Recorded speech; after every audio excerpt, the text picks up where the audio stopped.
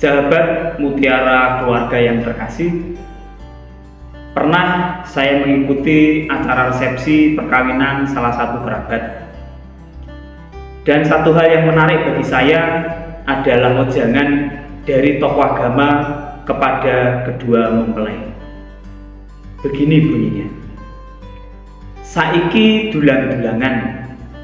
Ning sesuk iso wae dadi dugang-dugangan. Jika diartikan, kira-kira artinya begini. Sekarang suap-suapan, tetapi nanti ke depannya bisa terjadi perkelahian, pertengkaran, tendang-tendangan. Wejangannya singkat, tapi maknanya mendalam. Membangun sebuah relasi pasangan memang membutuhkan komitmen, kepercayaan, dan keterbukaan. Dan itu semua harus didasari oleh kasih. Percuma kita memberikan kasih kepada pasangan, namun dengan tujuan untuk mengekang, membatasi kebebasan dan manipulatif.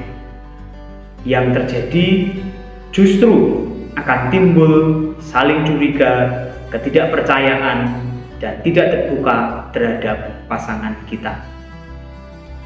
Sebaliknya, mari kita mohon kepada Tuhan agar kita mampu memberikan kasih yang tulus, kebebasan yang bertanggung jawab kepada pasangan kita, sehingga romansa, dulang-dulangan, sayang-sayangan tetap terwujud dalam keluarga kita karena timbulnya rasa percaya dan terbuka kepada pasangan kita.